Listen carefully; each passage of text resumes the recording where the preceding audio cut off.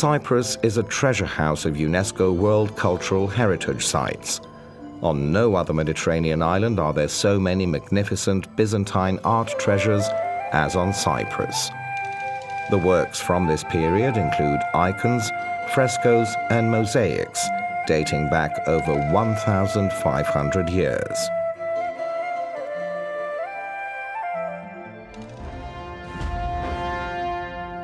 On July 15, 1974, the Greek colonels in Athens staged a coup against the president of Cyprus, Archbishop Makarios III.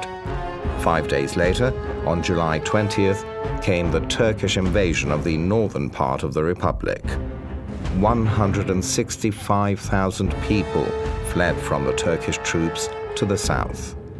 The whole of the north, 36% of the territory of the republic, is still occupied by Turkish troops, and Nicosia is to this day a divided city.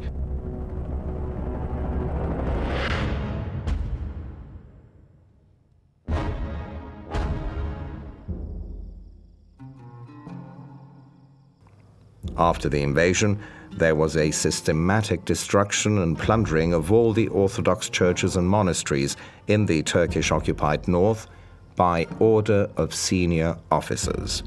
These were no Turkish Cypriots.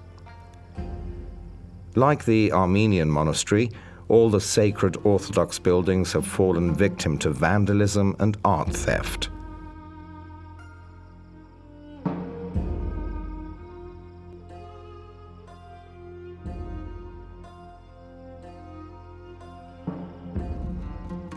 Archbishop Chrysostomos explains.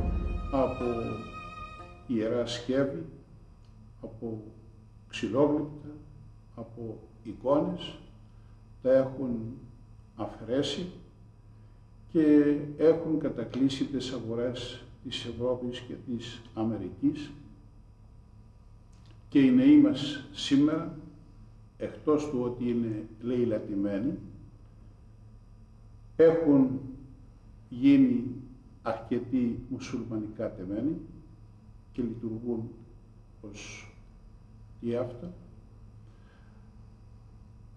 Έχουν αρκετοί να δυστυχώς γίνουν α, αποθήκες διάφορων αντικειμένων. Έχουν γίνει κέντρα διασκεδάσεως και το χειρότερο έχουν γίνει στάβλοι With brute force, like voracious treasure seekers, people behaved like animals and literally tore frescoes out of the churches. Top quality UNESCO World Heritage artworks were destroyed, like the head of the Archangel Michael from the Church of Christ Antiphonitis, which dates from around 1190 numerous artworks were not only destroyed during the robberies, but are now lost forever.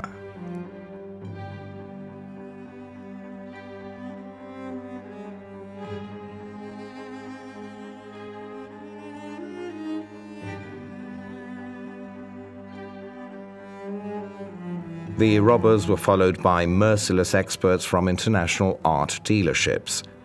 Using the latest methods, they removed the frescoes from the walls in order to be able to put them on the market in as sound a condition as possible.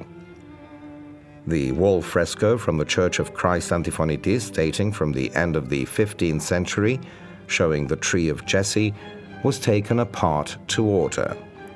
The art collectors were shown a photo of the whole fresco, picked out the head that they wanted, and ordered it for a high price, and only then was that detail of the fresco removed from the wall.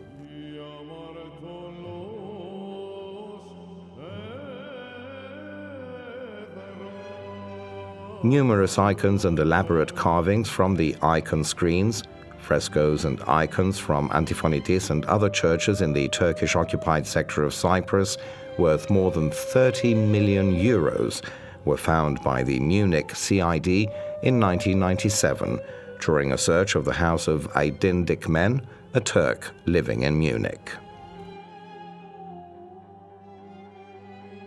The Republic of Cyprus is still waiting in vain today for the return of the artworks.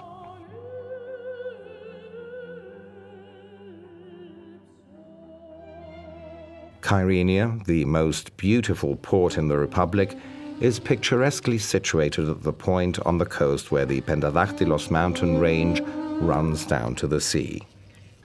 Until the Turkish invasion in 1974, some 4,000 Greek and 800 Turkish Cypriots lived in Kyrenia. Today, 28,000 Turks live here.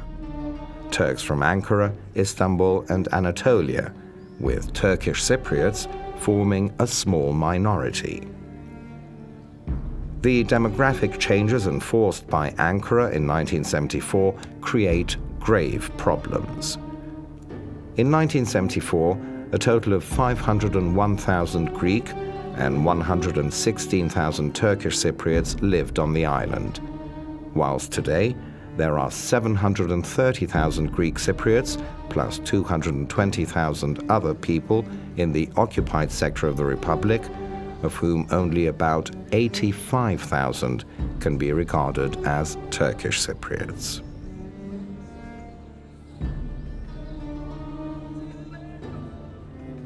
Even this Christian site, famous in the life of St. Barnabas, nephew of St. Mark the Evangelist, fell victim to art theft after 1974. The monastery, which is open to tourists today as an icon museum, is a farce. Nothing remains of the original precious decoration of the church. Worthless icons of the 19th and 20th century are exhibited here in a haphazard manner, whilst the museum is self proclaimed as the savior of the Christian art of Cyprus.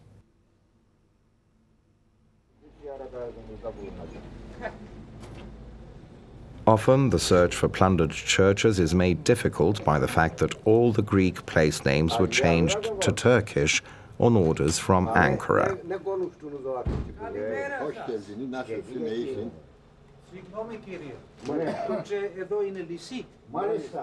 In Lisi, we met Turkish Cypriots from Paphos in the south of the island who'd left their homes in 1974, allegedly voluntarily, but in reality with incentives, sometimes threats from Ankara.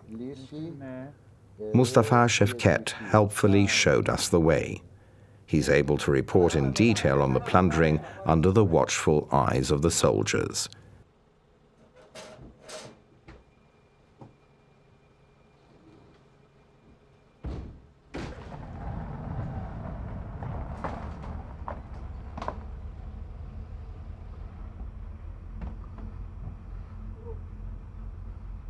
Inside the church, we're shocked chaos reigns. Nothing but chaos. Here, not only have art thieves been at work, but there's also been wanton destruction. Nervously, Mustafa tells us in almost perfect Greek.